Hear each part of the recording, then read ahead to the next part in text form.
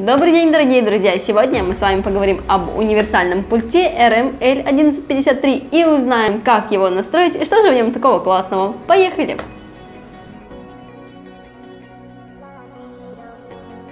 Итак, давайте распакуем этот пульт RM-L1153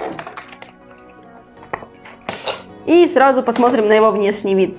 Пульт выполнен на корпусной микросхеме из АБС пластика. Как мы видим, качественный принт и достаточно популярный корпус. В комплекте также идет инструкция к этому пульту. Инструкция по настройке. В ней вы можете увидеть ряд пультов, которые заменяют этот пульт. Таким образом и просто 3 тонны кодов. Так, этот пульт комплектуется двумя батареечками типа 3А. Вставляем батареечки, давайте попробуем настроить его. Для настройки путем ввода кода вручную необходимо зажать одновременно кнопочку Power и кнопочку Mood.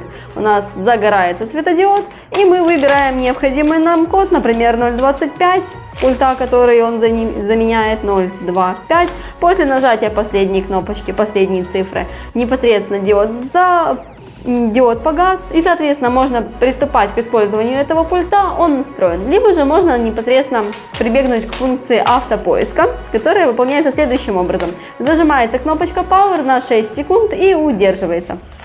Через 6 секунд непосредственно диод начинает мигать. А, на каждое его подмигивание вам он выдает определенный код, соответственно, как только на телевизоре появится значок громкости, можно отпустить кнопочку и протестировать весь необходимый функционал, пульт настроен. С таким интересным универсалом мы с вами сегодня познакомились и узнали, как его настроить. Будем рады, если это видео было вам полезным. Всем пока!